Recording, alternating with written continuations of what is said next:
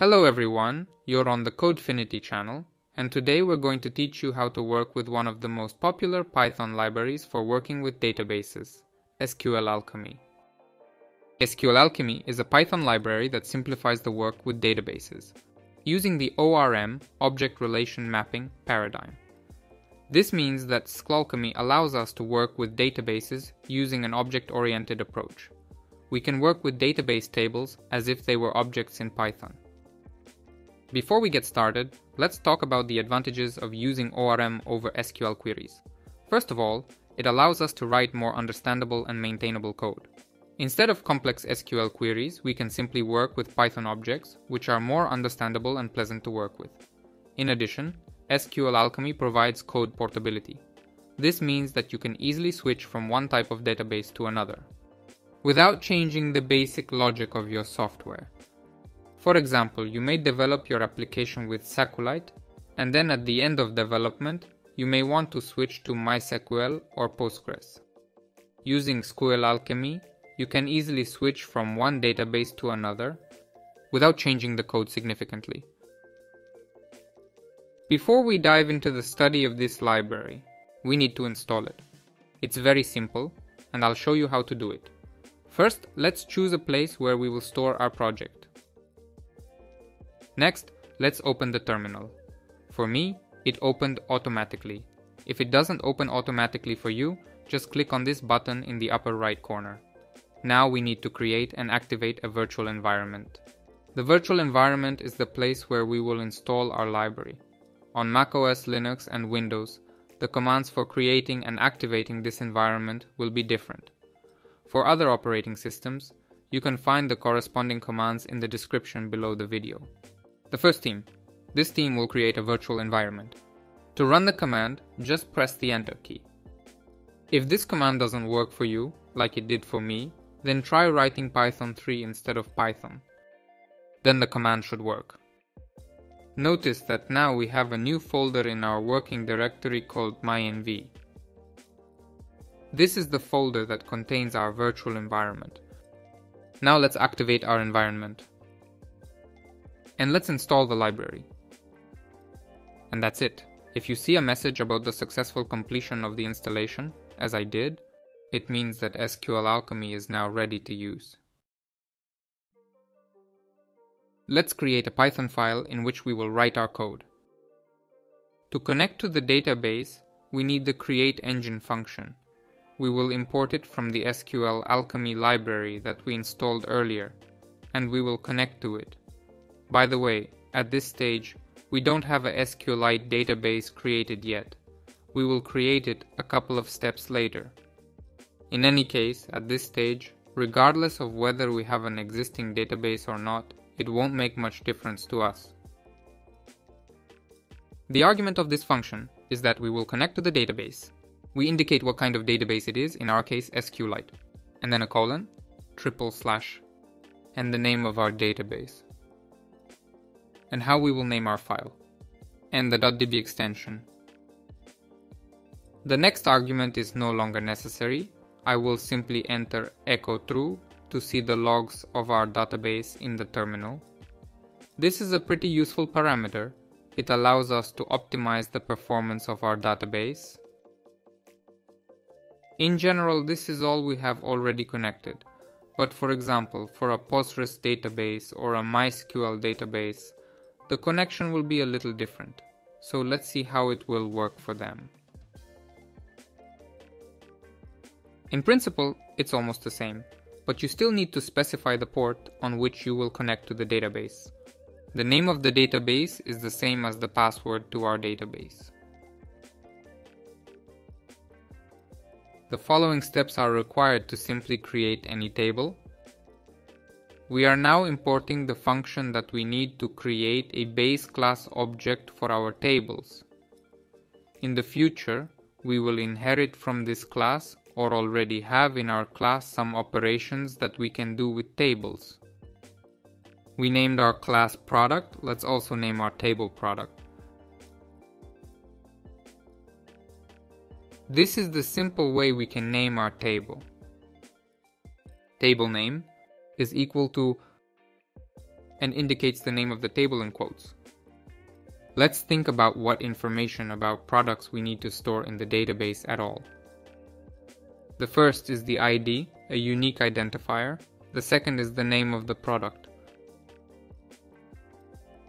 Let's also add the date of creation of this product or the date of manufacture. Our product must have a price. And there must be a field that will contain information about whether we have this product in stock. Now, I want to import the data types that we will need for our table in order to record all these fields in this table. First, for ID, we definitely need integers. This is the integer data type. For name, we need a string data type. For created_at, we need a data type that stores the date. For the price, we need a float data type. And for our last parameter, we need a boolean data type.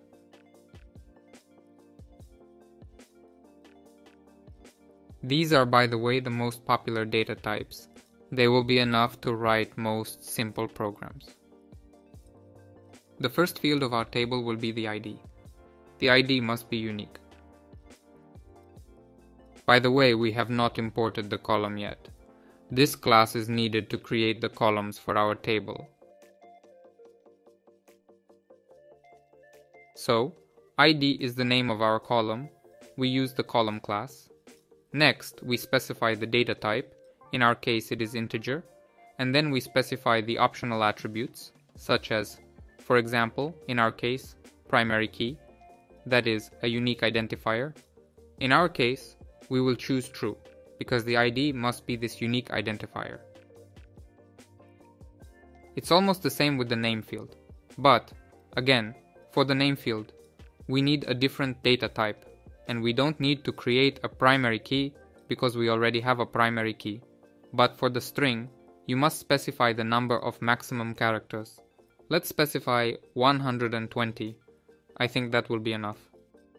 And let's add an optional field that will indicate whether this field can be empty. Let's prohibit making this field empty because all products must have a name. Regarding the date of manufacture of the product, it is very convenient to use the default parameter along with the production date. Default is the default value.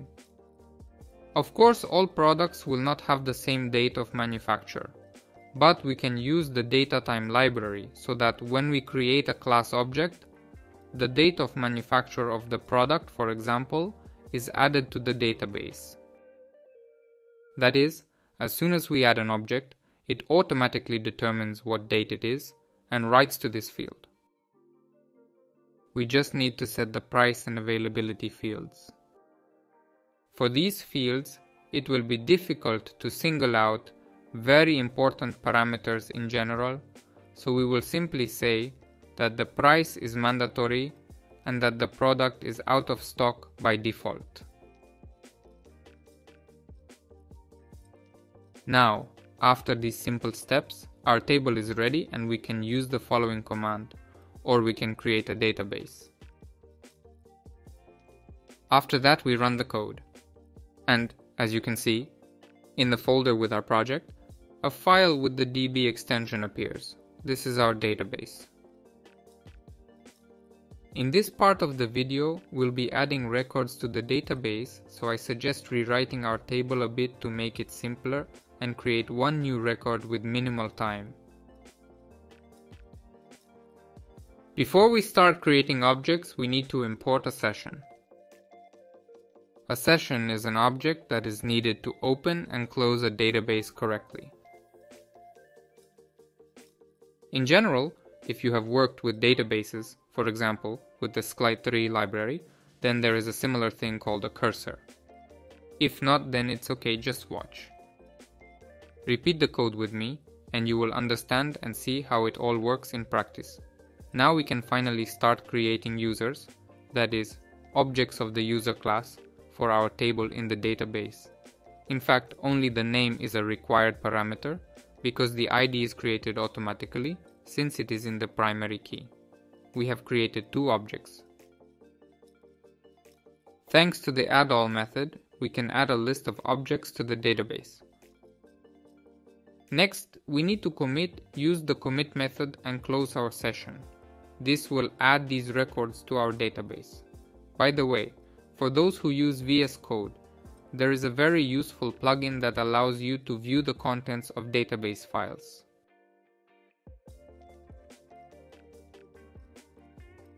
Just install this plugin, find it in the catalog by its name, and then just click on the file you need, select our plugin from the list, and look at the contents of the file. Here we see the same two records that we added. Let's learn how to get a record from the database. First, let's get all the records about our users.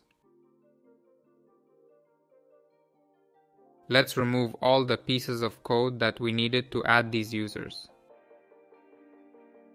Our code will return a list of users, so we call the change users, wrap it in session, query. Next, in parentheses, we indicate which model we are wrapping to, from which we want to get the requests. Next, select all with a dot if you want to get all users. Now let's just display all these users on the screen. This is not difficult since the users list stores objects of the user class and all we have to do is display the names of the users.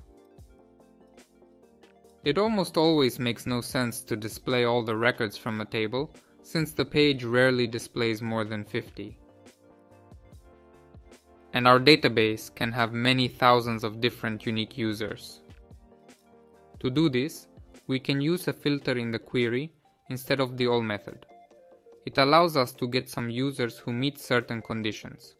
For example, they have the appropriate name. For example, Alex. If we want to get all such users who meet this condition, then we will use the all method again. Regardless of the number of users, this function will still return the list. So let's go through our users list again with the for loop and print the name of each of these users. No miracle happened. As far as we remember, we had only one user named Alex. Therefore, we saw only one such record here. Updating a record in SQL Alchemy is also very easy. In this code example, I got all the users not named Ale. Let's remove the zero user from this list and let's then display his name in the terminal before and after the changes to make sure that everything worked.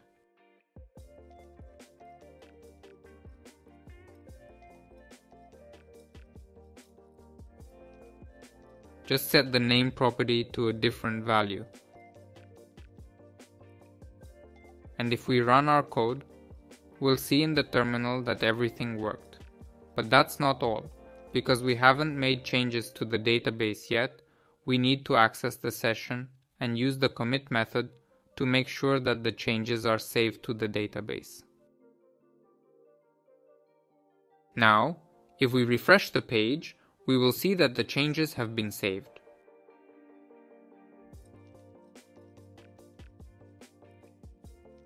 Deleting records from the database is also very easy. Let's get some user out of the table and delete it.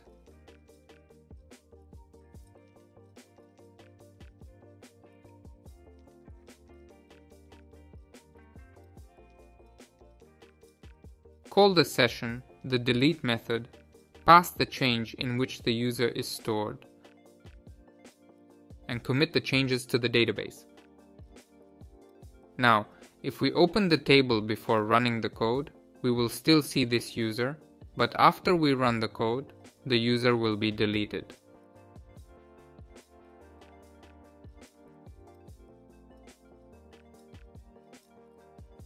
These are the basic skills of working with SQL Alchemy. They will allow us to write our own pet projects, and SQL Alchemy is often used in backend frameworks, such as Flask. The Codefinity platform has courses on Flask. Thanks to them, and basic knowledge of SQL Alchemy, you will be able to create your own full-fledged websites.